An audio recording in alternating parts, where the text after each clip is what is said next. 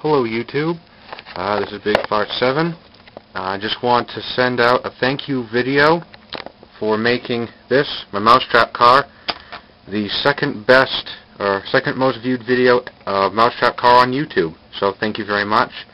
Uh, for most of you, thank you for all the comments and all the um, messages you've been sending me on how to build this and uh, for your time and patience. So it's been long enough. Now this is made out of much finer material. I figure I'd show you how to build a mousetrap car this time. Not one of those cheesy starter kits with the huge CD wheels and it goes a mile an hour tops and will travel about 20 feet and then puts out because it doesn't have enough oomph. Now, I doubt it'll go as far as this simply because the material is made much cheaper material. However, um, it'll be a very similar body style to this um, I will show you step by step how to build it using materials that you can find around your house and it shouldn't amount to much more than about 5 or $10 in total if you don't already have all the materials you need in order to build the video. So without any further ado, I will show you how to build a mousetrap car step by step. Here's a list of all the parts you need. A pair of scissors, needle nose pliers, a ruler, um, three paper clips, any kind of mousetrap, some super glue, a straw, three popsicle sticks, some thin wire, two juice cap covers, two medicine cups, an X-Acto knife or a razor, a permanent marker, two small wide rubber bands, and a metal clothes hanger. First, start by taking your cardboard, your Sharpie marker, and your ruler, and measure out a length and width for your mousetrap car's body. It really helps if you stick to a similar size to these popsicle sticks because this is going to be your reinforcement because obviously cardboard isn't exactly as strong as wood. So the maximum length you should probably go for these, uh, for this car, is going to be right about 5 inches long and you can either have it, I'd say a good amount is between 3 to 5 inches wide. So let me go ahead and mark that for you right now.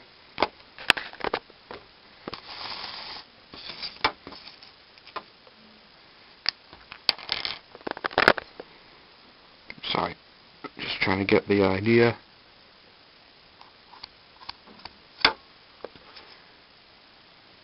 And, oh, Let's make it 3 inches wide from the corner there. Pardon me, YouTube, I'm trying to do this all by looking through the camera's screen, and it's always, it's about half a second slower than my movements are, so I'm just trying to get everything to be straight.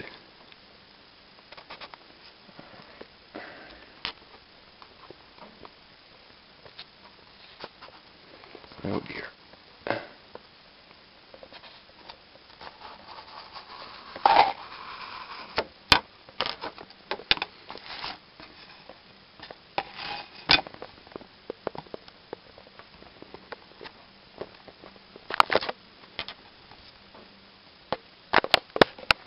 Hmm.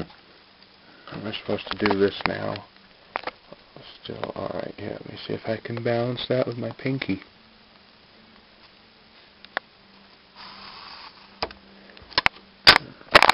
There you go. Have your shape cut out for the mousetrap car. Now we can begin to cut.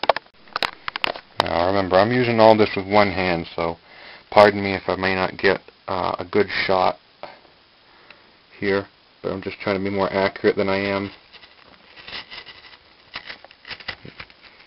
Cutting is pretty basic, fundamental.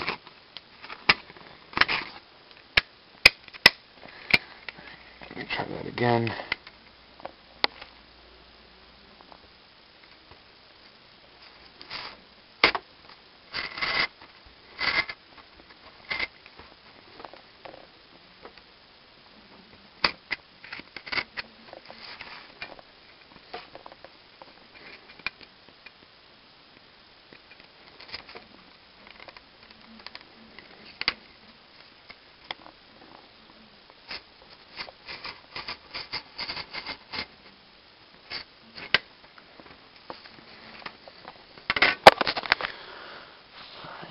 Oh,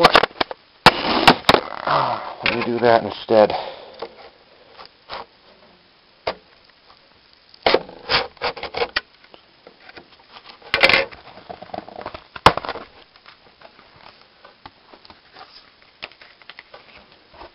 As you can see, I've already made a bit of a cut through there.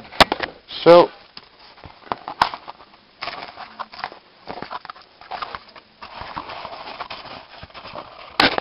after you get through the top layer, makes a bit of a door. And all you do is take your X-Acto knife, poke it through the top, line it up, and cut straight down through the angle. There you have it. Your Mousetrap car's main body piece.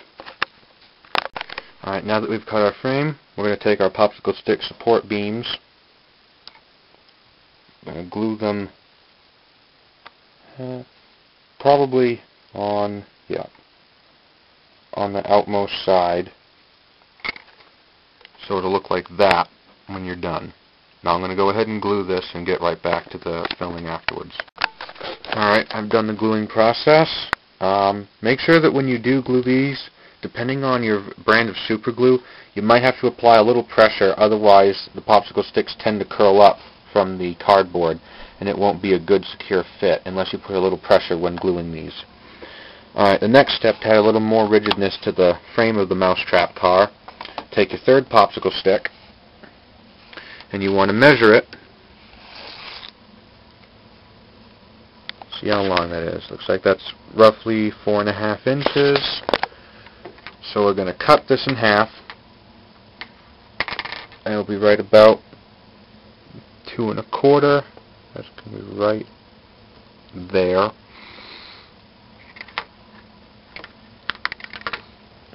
Now you want to be careful when trying to cut a popsicle stick, especially if they're craft popsicle sticks like these, because when they dye them and stuff, it makes the wood very brittle, and there's a chance that it could snap right in half. So, I'm going to set the camera down again. See if I can, using, let's try using those pliers, carefully snip at it.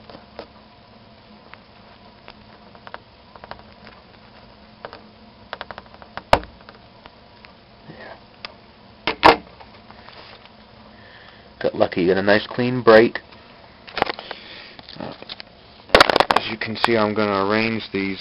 You want one, so it's going to be right up front, and you want another, it's going to be somewhere right around here, have a little space at the back, and there's a reason for that, and I'll show you that at the next step.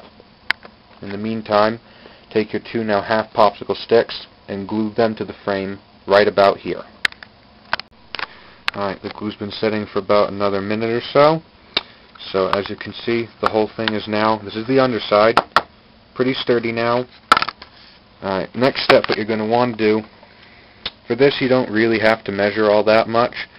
Um, just if it's going to be 5 inches by 3 inches for the body size, you're going to want to leave, oh, about